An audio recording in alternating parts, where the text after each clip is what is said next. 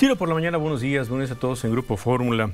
Bueno, pues a la muerte de Alejandro Martín, muchísimas expresiones de tristeza, de cariño, de recuerdos, ya lo decías desde anoche, pues simplemente un buen hombre, un hombre ejemplar, un hombre que puso por delante su vida a partir del secuestro y el asesinato de su hijo Fernando. Eh, la famosa frase de si no pueden renuncien, se la dijo al presidente Calderón, quien ayer, independientemente de manifestar su tristeza se dijo al de eso, Consejo de Seguridad. Pues al Consejo de Seguridad Pública que encabezaba en ese momento Felipe Calderón. Con Alejandro dice establecimos, y lo dice Felipe Calderón, una sólida relación fue clave para la aprobación del Acuerdo Nacional por la Justicia y la Seguridad, el programa más completo y con mayor legitimidad en función de los poderes y organismos que lo suscribieron. Dice, teníamos em, pues nuestras oficinas en el mismo edificio. En la última elección municipal, Valle de Bravo apoyó firmemente a la oposición. Me comentó su preocupación por la forma en que el crimen organizado intervino violentamente en favor de la candidatura de Morena. Descanse en paz.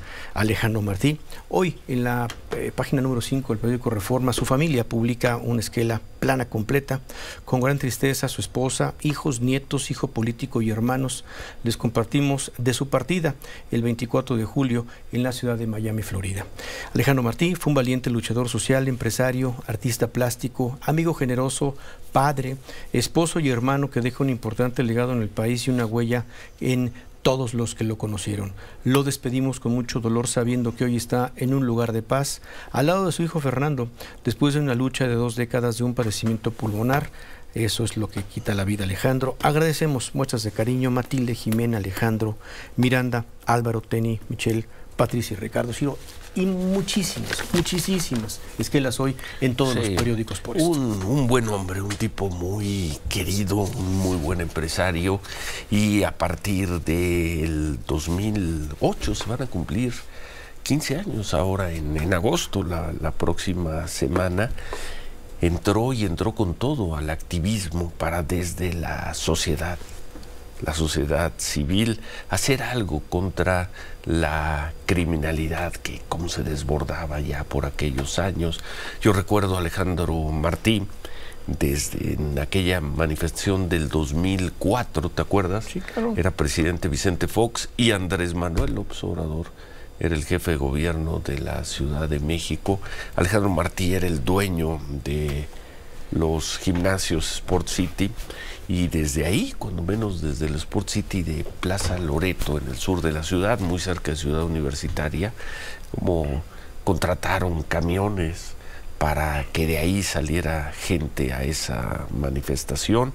¿Quién diría que cuatro años después la manifestación sería por el asesinato de uno de los hijos de Alejandro Martí, secuestrado a mediados, en junio del 2008, y que pese a que pagaron un rescate, apareció muerto en creo que el 1 o el 2 de, de agosto de aquel 2000, 2008 y a los pocos días se llevó a cabo aquella reunión memorable del Consejo Nacional de Seguridad Pública, donde Alejandro Martí fue el orador central y expresó esa frase una frase que se podía aplicar perfectamente bien en aquel entonces a los servidores públicos y que se puede seguir aplicando hoy sin, ningún La incapacidad también es corrupción.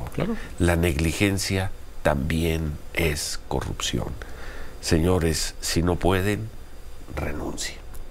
Y bueno, pues murió 15 años después, y pues los señores que no pueden siguen ahí, haciendo propaganda, diciendo que las cosas van mejor. Vamos a revisar ahora las cifras del INEGI sobre homicidios en el que terminaría siendo el último año de vida de Alejandro Martí, el 2022. Tristemente, las cosas no solo no mejoraron en estos 15 años, se han agravado, han, han empeorado.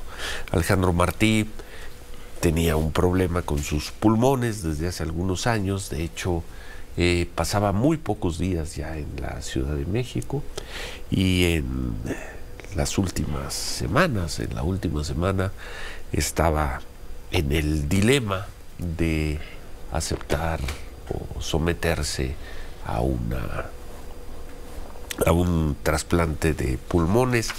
No sé, y eso ya es un asunto de su familia, cómo tomó la decisión, qué fue lo que pasó, si se le complicó el problema que, que ya tenía.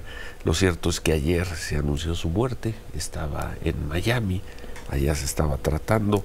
Descanse en paz el querido Alejandro Martí, quien junto con otras personas de la sociedad civil supieron transformar su dolor en una lucha a fondo contra la criminalidad en México, como Isabel Miranda de Guadas, como Javier Sicilia, como los hermanos Levarón, como María Elena Morera.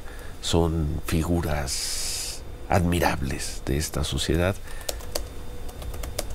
que han dedicado, que dedicaron su, su vida desde sus ámbitos, desde sus entendimientos, desde sus posibilidades a combatir la criminalidad. Lo hizo algunos años Nelson Vargas también. Saludos al querido, al querido Nelson y algunas personas más, porque la lista es más, la lista es más amplia. Pero pues descanse en paz Alejandro Martillo, tuve oportunidad de conocerlo bien, de tratarlo durante muchos, muchos años. Y hace dos, hace dos, recordarás, Manuel, él fue quien nos alertó, quien me alertó del secuestro que había sufrido un secuestro de horas la candidata de el frente opositor a la alcaldía de Valle de Bravo, Surique Rodríguez y Alejandro estaba muy alterado. De hecho, Alejandro consiguió sacarla algunos días de Valle de Bravo. Creo que la trajo su casa en la Ciudad de México para que estuviera más tranquila. ¿Y qué pasó con ella? Bueno, pues cuando menos no le hicieron daño, pero lograron marginarla de aquella competencia. ¿Y quién ganó?